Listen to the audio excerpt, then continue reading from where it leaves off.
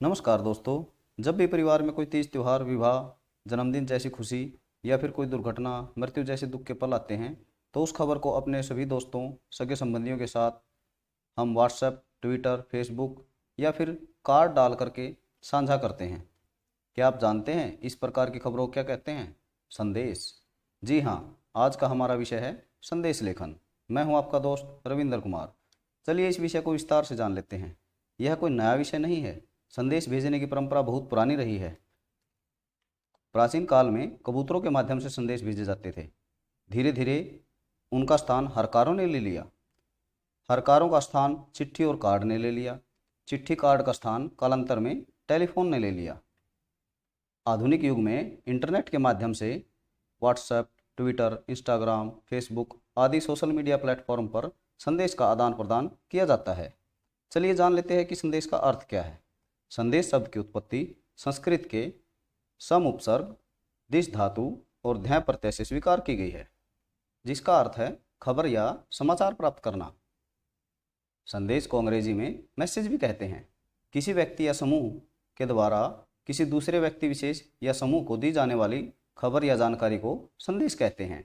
जब कोई व्यक्ति किसी कारणवश दूसरे व्यक्ति से सीधे बात नहीं कर सकता, तब वह कोई जानकारी या समाचार या खबर संदेश के ज़रिए दूसरे व्यक्ति तक पहुंचाता है। ये संदेश लिखित और मौखिक दोनों हो सकते हैं। ये सुखद और दुखद के साथ साथ व्यक्तिगत व सामूहिक भी हो सकते हैं। चलिए संदेश लेखन के प्रकार देख लेते हैं। आमतौर पर संदेश लेखन के दो प्रकार हैं, औपचारिक और अनौपचारिक।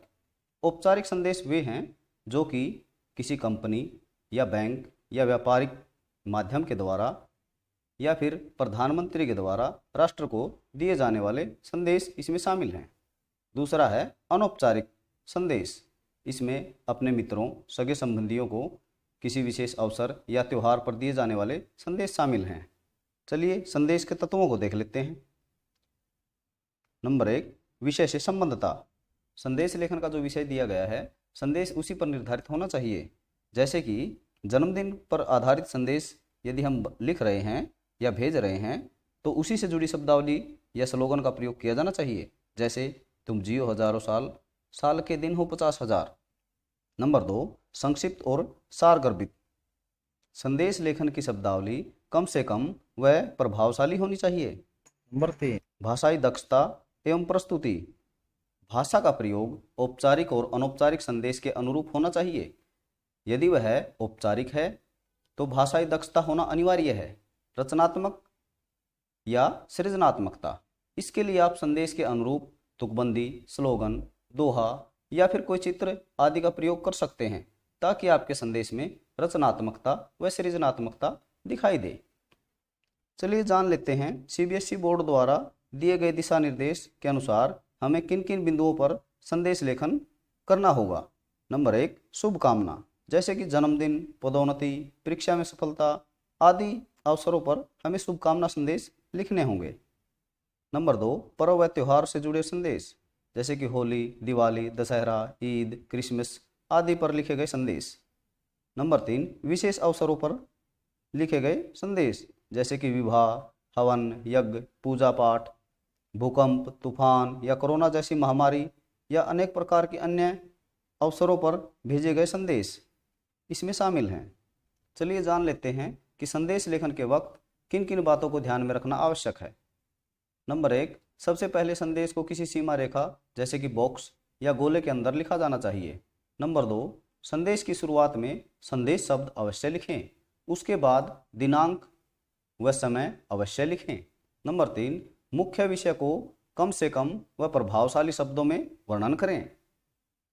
नंबर चार, अंत में संदेश लिखने वाले का नाम अवश्य लिखें। नंबर पाँच संदेश लेखन की शब्द सीमा 30 से 40 शब्दों के बीच होनी चाहिए। नंबर छः, अगर चित्रों का उपयोग करना उचित लगे तो विषय अनुसार किया जा सकता है। नंबर सात, अगर शायरी, दोहे, श्लोक या कविता की आवश्यकता हो तो प्रयोग कर सकते हैं। नंबर आठ, संदेश में रचनात्मकता और सृजनात्मकता होनी चाहिए। नंबर नौ, संदेश सरल व संक्षिप्त शब्दों में प्रभावशाली व विषय के अनुरूप लिखा जाना आवश्यक है। नंबर दस विषय के अनुसार रंगों का प्रयोग भी किया जा सकता है। नंबर ग्यारह, संदेश के अंदर इधर उधर की बातें ना लिखकर केवल विषय वस्तु पर ध्यान देना अति आवश्यक है। चलिए, इसके कुछ उदाहरणों के माध्यम से हम इसे समझ लेते हैं। यह एक उदाहरण आपको दिखाई दे रहा है। पुत्र या पुत्री को जन्म दिवस पर शुभकामना संदेश। इसमें एक बॉक्स बनाया गया है। ऊपर जन्म दिवस पर शुभकामना संदेश लिखा गया है। फिर एक तुकबंदी लिखी गई है। तुम जियो हज़ारों साल साल के दिन हो पचास हज़ार। और फिर दिनांक लिखी गई है, जो कि बहुत ज़रूरी है। उसके नीचे समय दिया गया है। फिर अभिवादन दिया गया है। प्रिय बेटा अभिषेक, फिर विषय वस्तु दी गई है। आपको जन्मदिन की हार्दिक शुभकामनाएँ। आप दीर्घायु हों, स्वस्थ रहें और जीवन में उन्नति के मार्ग पर अग्रसर रहें। यही मेरी ईश्वर से प्रार्थना है।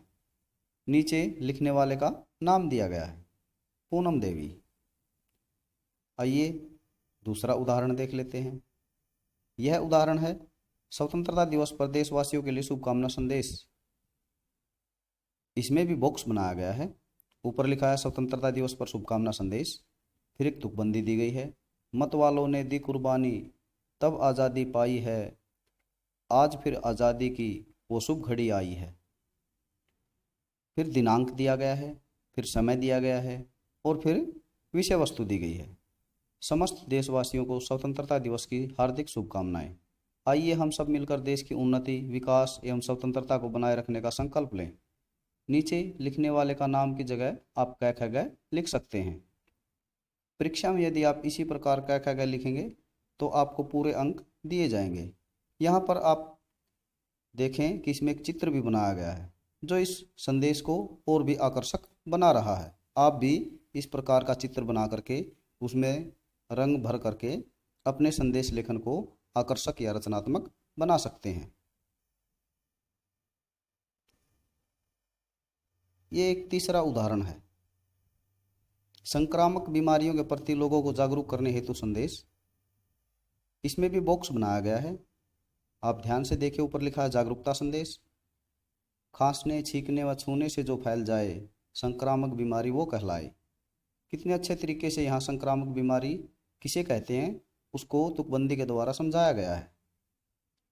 फिर दिनांक दी गई है, फिर समय दिया गया है, और फिर विषय वस्तु दी गई है, कि हम किस प्रकार से लोगों को जागरूक कर सकते हैं। प्रिय देशवासियों, संक्रामक बीमारियों से बचना है तो रोगी के संपर्क से बचें।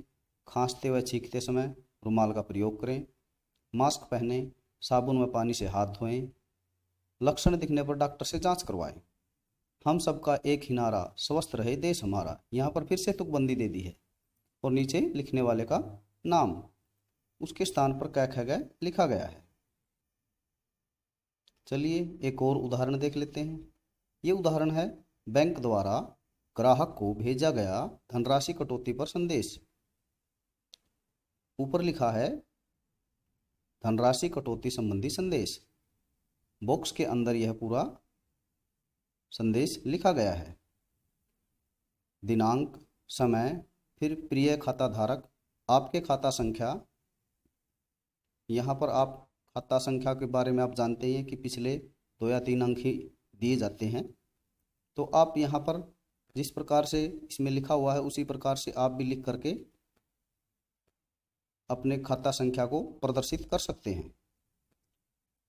से रुपये पंद्रह हज़ार निष्कासित किए गए हैं, यानी निकाल लिए गए हैं। आपके खाते में कुल जमा राशि रुपये दस हज़ार उपलब्ध है। विजया बैंक, यहाँ पर आप कै कै बैंक भी लिख सकते हैं। अगला उदाहरण देख लेते हैं।